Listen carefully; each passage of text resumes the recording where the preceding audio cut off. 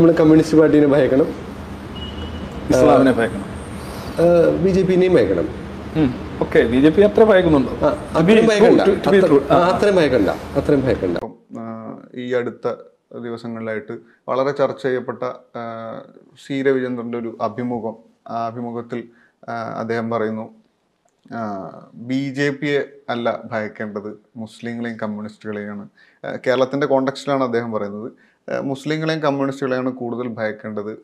ഹിന്ദുത്വ അല്ലെങ്കിൽ B J P അല്ല എന്ന് പറയുന്ന ഒരു ആ- ആ അത് ആ വാചകം കേൾക്കുന്ന ഉടനെ തന്നെ നമ്മുടെ മനസ്സിൽ പ്രോസസ്സാവുന്നത് അതായത് വിചാരധാരയിൽ ഗോൾവൽക്കർ പറയുന്നുണ്ട് മൂന്ന് ശത്രുക്കളാണ് എന്ന്. അത് മുസ്ലിങ്ങളും ക്രിസ്ത്യാനികളും കമ്മ്യൂണിസ്റ്റുകളുമാണ്. അപ്പോൾ ഒരുപക്ഷെ ഗോൾവൽക്കറിന് ശേഷം എന്ന് വെച്ചാൽ അതേ ഗോൾവൽക്കർ പറഞ്ഞ അതേ ആവേശത്തിൽ ഏകദേശം അതേ വാചകം സി രവിചന്ദ്രൻ കേരളത്തിൽ പറയുന്നു എന്നിടത്ത് ഇത് സഞ്ചരിച്ചെത്തുന്നത് എവിടേക്കാണ് എന്നുള്ളൊരു വലിയ ഭീകരമായ ഒരു ചോദ്യം ഉണ്ടല്ലോ ഒരു പേടിപ്പെടുത്തുന്ന ചോദ്യത്തിലേക്കല്ലേ അത് എത്തുന്നത്? അതെ ശരിയാണ്. അതിനകത്ത് പേടിപ്പിടിക്ക പേടിപ്പെടുത്തുന്ന ഒരുപാട് കാര്യങ്ങളുണ്ട്. അത് ഈ എനിക്കറിയില്ല. നമുക്ക് വേണമെങ്കിൽ അതിനെ ഒരു തർക്കത്തിന് വേണ്ടി വാദിച്ചാൽ ഭയം ഒരു സബ്ജക്റ്റീവ് ആയിട്ടുള്ള ഒരു വികാരമാണ് ഞാൻ ആരെയൊക്കെ ഭയക്കണം എന്നുള്ളത് എന്റെ തീരുമാനമാണ്. പറയുന്ന ഒരാളിന് തീരുമാനിക്കാം. എനിക്ക് ആരെയൊക്കെയാണ് ഭയം? ഇപ്പൊ നമ്മൾ തെരുവുനായ പ്രശ്നം ചർച്ച ചെയ്യുമ്പോൾ കാറിൽ പോകുന്ന ഒരാൾ തെരുവുനായെ പേടിക്കേണ്ട കാര്യമില്ല. തെരുവുനായെ പേടിക്കേണ്ടത് ആറോടെ നടന്നു പോകുന്നതും.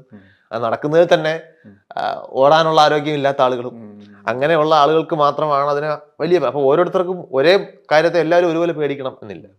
അപ്പോൾ ഇപ്പൊ ഞാൻ ബി ജെ പി ആകട്ടെ കമ്മ്യൂണിസ്റ്റ് പാർട്ടി ആകട്ടെ ഏത് പാർട്ടി ആയിക്കൊള്ളട്ടെ ഞാൻ ആർക്ക് ഗുണം ചെയ്യുന്ന കാര്യങ്ങളാണോ പറയുന്നത്?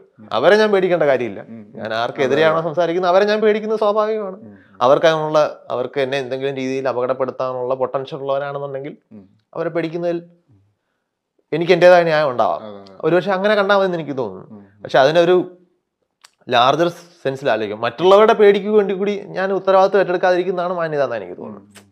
ഞാൻ ആരെ പേടിക്കണമെന്ന് എനിക്ക് തീരുമാനിക്കാം. നിങ്ങൾ അവരെയൊക്കെ തന്നെ പേടിക്കണം എന്ന് പറയേണ്ട കാര്യമില്ല. അല്ല ഇതിൽ ഒരു കാര്യം എന്താണെന്ന് വെച്ചാൽ അതിന്റെ ഒരു ലാർജർ ഒരു ക്യാൻവാസ് എടുക്കുമ്പോൾ എന്ന് വെച്ചാൽ നമ്മുടെ ഐഡന്റിറ്റി കാരണം ഇപ്പോൾ ഇന്ത്യയിൽ മുസ്ലിം ഐഡന്റിറ്റി കാരണം ഒരാൾ കൊല ചെയ്യപ്പെടാൻ സാധ്യതയുള്ള ഒരു സാഹചര്യമുണ്ട്. ആളുകൾ കൂട്ടം ചേർന്ന് ആക്രമിക്കാൻ സാധ്യതയുള്ള ഒരു സാഹചര്യമുണ്ട്. ദളിതാണ് എന്ന് പറഞ്ഞതിന്റെ പേരിൽ കെട്ടിയിട്ട് തല്ലാനുള്ള ഒരു സാഹചര്യം അതിനുള്ള അധികാരവും ആളുകൾ ഉപയോഗിക്കുന്ന ഒരു ഒരു സോഷ്യൽ സിറ്റുവേഷനിലാണ് നമ്മളുള്ളത്.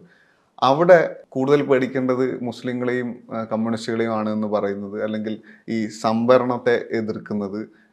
ആരും എല്ലാവരും ജനിക്കുന്നത് ഒരുപോലെയാണ് എന്ന് പറയുന്നതിലൊക്കെ ഉണ്ടാകുന്ന ഒരു ഒരു അതിൽ നമ്മൾ ചെയ്യുന്ന ഒരു കുറ്റകൃത്യം ഉണ്ടല്ലോ. അതായത് ഈ പറയുന്ന ആളുകൾ ഈ ഐഡന്റിറ്റി മൂലം റദ്ദ് ചെയ്യപ്പെടുന്ന വലിയ തരത്തിൽ ആക്രമിക്കപ്പെടുന്ന ഈ മനുഷ്യരെ നമ്മൾ റദ്ദ് ചെയ്യല്ലേ അവിടെ? ഈ ഈ സ്റ്റാൻഡ് തീർച്ചയായിട്ടും. അതിനകത്തൊരു സാമൂഹികമായിട്ട് നോക്കുമ്പോൾ അതൊരു വലിയൊരു ഒരു വയലൻസ് ആണെന്ന് പറയാം. ആശയപരമായിട്ട് നമ്മൾ അവരെ അവരിപ്പോൾ നേരിട്ടുകൊണ്ടിരിക്കുന്ന പ്രശ്നങ്ങൾ അവർ അനുഭവിക്കേണ്ടതാണ് എന്ന മട്ടിലേക്ക് അതിനെ നോർമലൈസ് ചെയ്യുന്ന തരത്തിൽ അത്തരം വാദങ്ങൾ പോകാറുണ്ട്. അത് തീർച്ചയായും അപകട ഞാൻ ഇത്തരം പല പേഴ്സൺസ് ആയാലും അങ്ങനെയുള്ള നവ നാസ്തിക പ്രസ്ഥാനങ്ങളുടെയൊക്കെ പല നിലപാടുകളോടും എനിക്ക് പ്രത്യക്ഷത്തിൽ തന്നെ വിയോജിക്കേണ്ടി വരുന്നത് ഇത്തരം അപകടകരമായിട്ടുള്ള കാഴ്ചപ്പാടുകൾ അവർ മുന്നോട്ട് വെക്കുകയും പ്രചരിപ്പിക്കുകയും ചെയ്യുന്നതുകൊണ്ടാണ്. ഞാനത് പബ്ലിക്കായിട്ട് മുമ്പും സോഷ്യൽ മീഡിയയിൽ പങ്കുവച്ചിട്ടുള്ള കാര്യമാണ്. എനിക്ക് ഇതിനോട് യോജിപ്പില്ല. ഞാൻ ആത്യന്തികമായ ഒരു സാമൂഹ്യ ജീവിയാണ്. അത് കഴിഞ്ഞിട്ടാണ് എന്റെ അതെന്താണ് ശാസ്ത്രബോധമായാലും ഒക്കെ സംഭവിക്കുന്നത്. ഞാൻ സാമൂഹ്യ ജീവി എന്ന നിലയിൽ മെച്ചപ്പെട്ട ഒരാളാകാൻ ആണ് ശാസ്ത്രബോധത്തെ ആയാലും ശാസ്ത്രത്തെ ആയാലും ഒക്കെ ഉപയോഗിക്കേണ്ടത് എന്നാണ് എന്റെ അഭിപ്രായം. ഞാൻ പറഞ്ഞല്ലോ അത് അഭിപ്രായമാണ്. എന്റെ അഭിപ്രായമാണ്. അപ്പൊ അതുകൊണ്ട് അത്തരം ഇത്തരം നിലപാടുകളോട് എനിക്ക് പ്രത്യക്ഷത്തിൽ തന്നെ വിയോജിപ്പാണ്. പ്രതിഷേധമാണ്. ഇപ്പോൾ ഏതൊരു ചർച്ചയിൽ ഒരാളുടെ അടുത്ത് പറ. നമ്മളെന്തോ ഒരു സാമൂഹിക വിഷയം സംസാരിച്ചുകൊണ്ടിരുന്നപ്പോൾ അദ്ദേഹം എന്നെ ഇങ്ങനെ ഫോർമലി മാത്രം പരിചയമുള്ള ഒരാൾ പറഞ്ഞു. നിങ്ങളെപ്പോലുള്ള സംവരണ വിരുദ്ധർക്ക് ഒരു പക്ഷേ അത് യോജിച്ച യോജിക്കാൻ കഴിയണമെന്നില്ല. അപ്പോൾ ഞാൻ ചോദിച്ചു ഞാൻ സംവരണ വിരുദ്ധനാണെന്ന് നിങ്ങൾ എങ്ങനെയാണ് അസ്യൂം ചെയ്തത്? ഞാൻ എപ്പോഴെങ്കിലും അതിനെക്കുറിച്ച് നിങ്ങളടുത്ത് സംസാരിച്ചിട്ടുണ്ട്? അപ്പോൾ അതിനകത്തൊരു അത്തരം ഒരുപാട് സാഹചര്യങ്ങൾ ഉണ്ടായി വന്നപ്പോൾ അപ്പോൾ എനിക്ക് തോന്നി ഞാൻ ഇത് ഞാനിനി എങ്ങനെയൊക്കെ എന്തൊക്കെ പറഞ്ഞാലും അടിസ്ഥാനപരമായിട്ട് എന്റേതല്ലാത്ത ആശയങ്ങളുടെ ബാധ്യത എനിക്ക് മുകളിലേക്ക് വരുന്നു.